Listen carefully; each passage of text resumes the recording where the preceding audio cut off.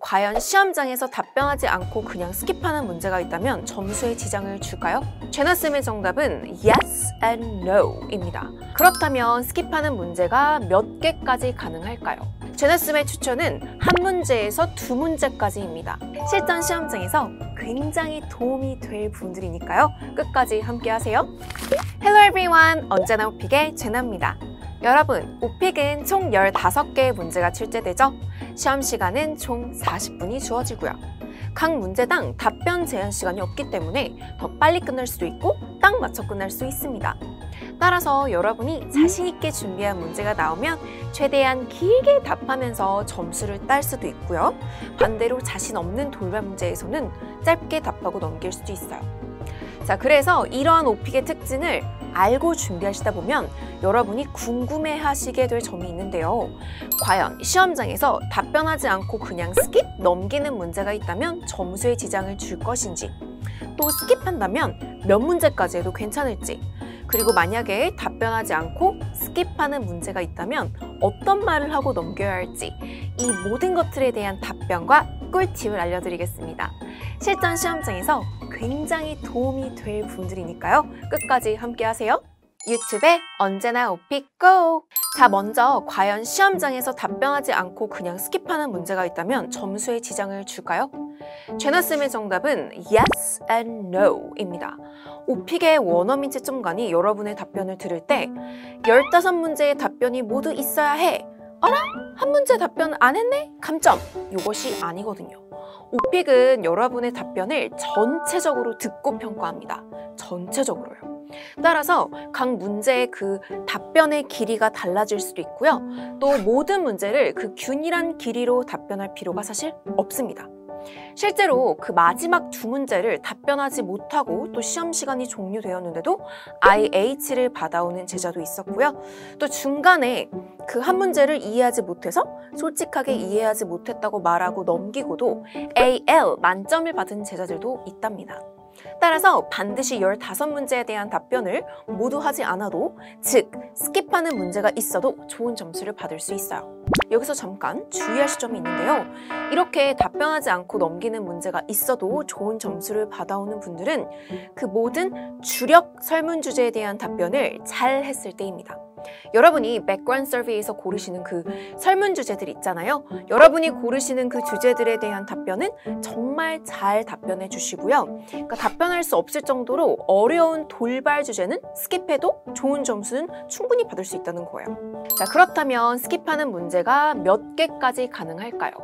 제나쌤의 추천은 한 문제에서 두 문제까지입니다. IH에서 AL 기준으로는 발화량, 즉 답변의 양도 중요하기 때문이에요.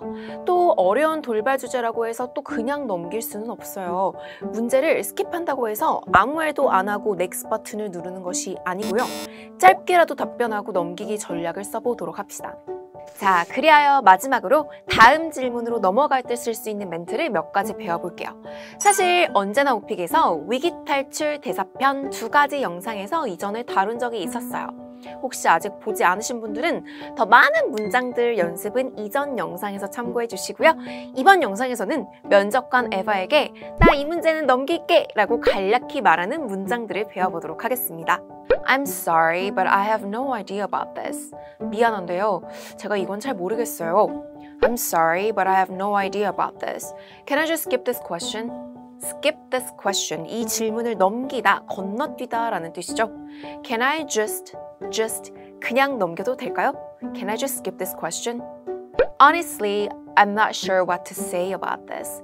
솔직히 아, 이거에 대해서 뭐라고 해야 되는지 제가 잘 모르겠어요. 자, 우리 조금 전에는 I have no idea 배우셨죠? 이번에는 I'm not sure. I'm not sure what to say about this. 그러니까 I don't know랑은 좀 비슷한 의미인데 조금 더 이제 다양하게 I'm not sure what to say. Uh, can I just move on to the next question? Move on to the next question. 다음 질문으로 넘어가다 라는 뜻이죠. 그냥 다음 질문으로 넘어가도 될까요? Can I just move on to the next question? Well, this is a very hard one. I really don't know what to say. 음, 이거 매우 어려운 질문이네요. 저 정말 뭐라고 말할지 모르겠어요. This is a very hard one. 자, 여러분이 question이라는 단어 대신에 one을 써서 This is a very hard one. This is a very difficult one. 이렇게 말하실 수 있고요. I really don't know what to say. 어깨 으쓱 진짜 모른다는 연기를 해주세요. I really don't know what to say. If it's okay with you, I'll try and answer your next question. 만약에 괜찮으시다면 이제 면접관 에바에게 양해를 구하고 I'll try and answer your next question. 제가 다음 질문에 대답하도록 노력해 볼게요. Try and answer your next question. 자, 이렇게 답변하시고 여러분 next 버튼 누르고 다음 문제로 넘어간다면 그냥 skip해 버리는 것보다 훨씬 좋겠죠? 여러분도 앞으로 가셔서 저와 발음, 억양, 자연스러운 연기 다시 연습해 보세요. 언제나 오픽! 오늘의 영상 어떠셨나요? 여러분의 오픽 준비에 도움이 되었길 바라고요. 도움이 되었다면 좋아요, 구독 부탁드려요. 궁금하신 점이 있다면 언제든 댓글로 질문을 남겨주세요. 오늘도 언제나 제나와 오픽하세요. 바이바이! 여러분, 오늘 비디오가 도움되셨다면 좋아요와 구독 꼭 눌러주고 가세요. 구독! 구독! 구독! 구독! 구독! 구독! 구독! 구독!